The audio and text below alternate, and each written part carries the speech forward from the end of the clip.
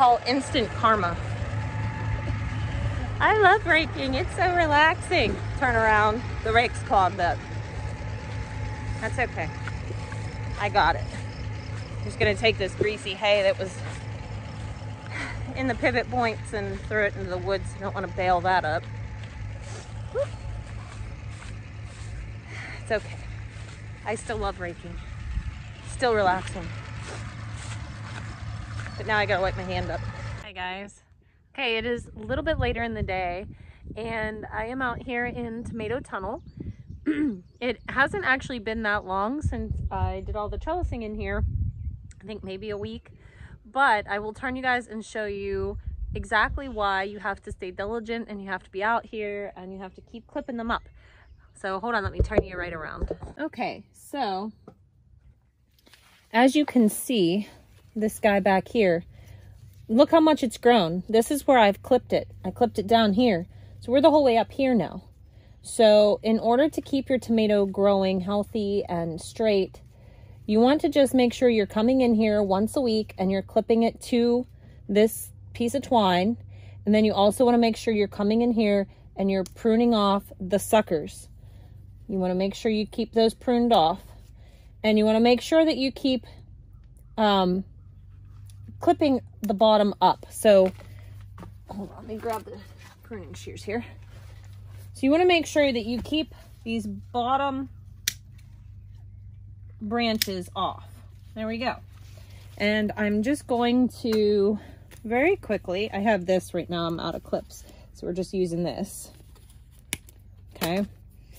Very loosely, I'm going to kind of step in here so you guys can see what I'm doing.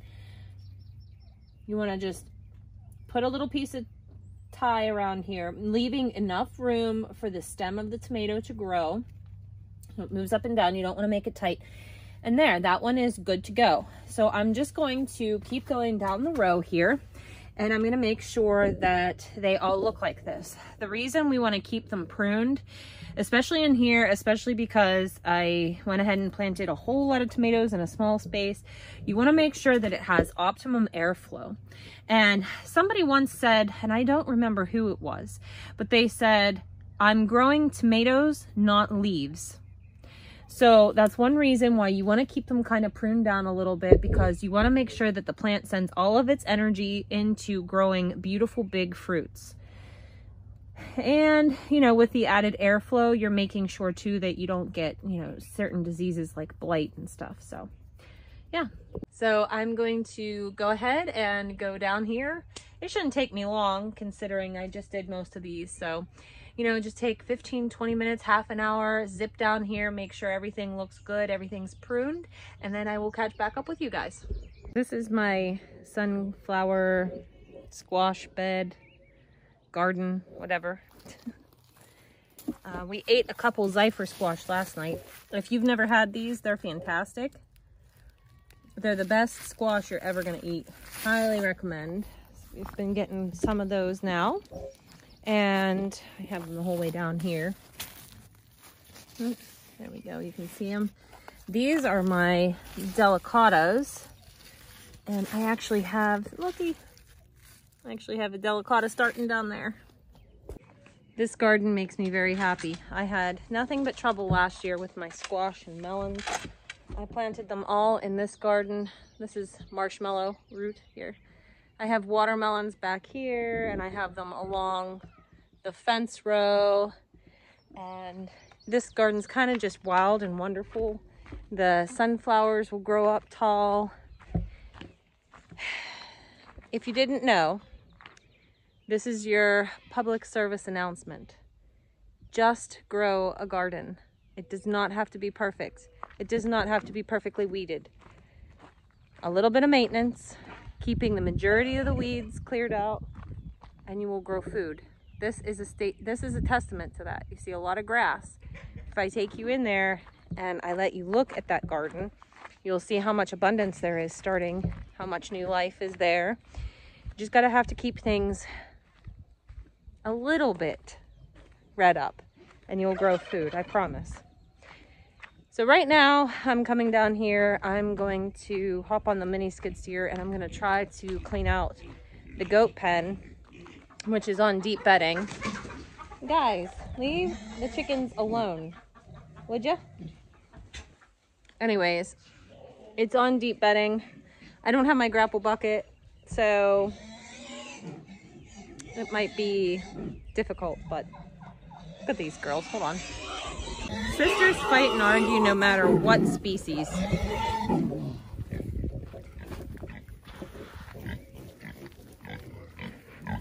They have this whole area. And Kiwi's just beating up her sister for some reason. Apparently Peach said something to Kiwi that she doesn't like. They're an electric fence, so they're not going anywhere. I wouldn't try it, Peach. Kiwi.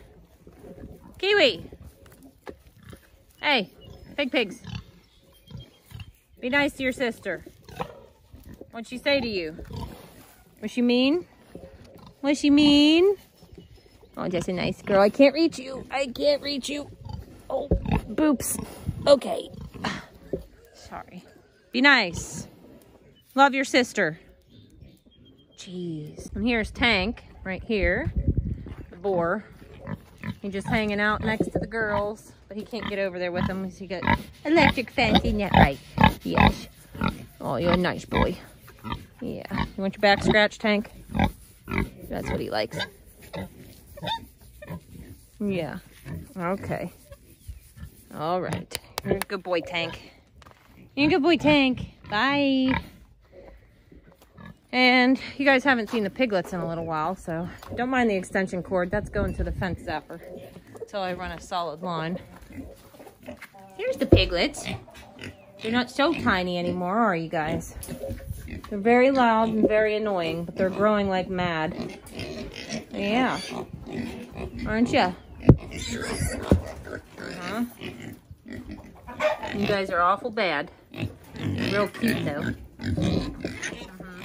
Here's just a, those are daylilies. This is just a little peek of the uh, potager bed here. Oh, I bumped the mint. It's okay.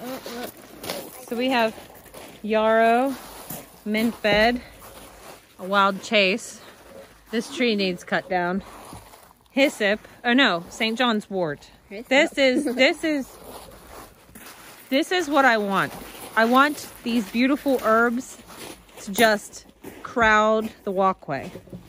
And very jade. Yes, and there's a wild jade. Okay. Pennyroyal and elecampane. And then mixed in, I have pepper plants and cucumbers. And over here, some basil. I'm coming through here and just weeding a bit. So I just wanted to show you guys that a, you don't have to have a perfect garden. Like I was saying earlier. We have squash plants here and I have, you know, there's weeds mixed in, but the fact is these guys are going to get more of the sunlight than the weeds, so they'll hopefully grow faster. I have Hungarian wax peppers in here. This is about where I stopped weeding. So I have to come through here, and actually this part I've just been mowing with the push mower.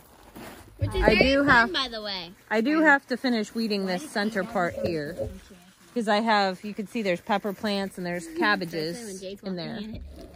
But we have strawberry patch over there and it's coming along, guys. It's coming along. So I was going to clean out the goat pen. And the mini skid steers track is not off. But there's a part of it that's broken. So I think something needs welded on it. I don't really know all the details. I do know that it's got like nine hours on it. And I pretty much should expect this. I am absolutely using that like I would use any other piece of equipment. We're putting the little Chinesium to the test. And what we found is it's actually an awesome machine, except for this track situation.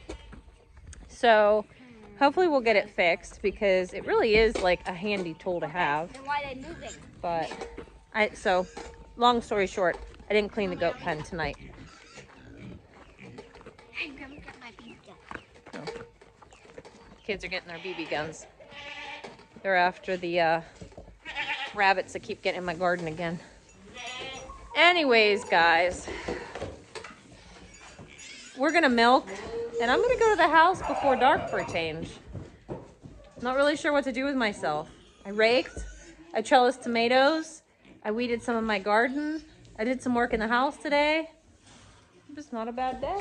I might get up there and make some bread. I hope you guys have a great day and we will see you in the next video. Bye.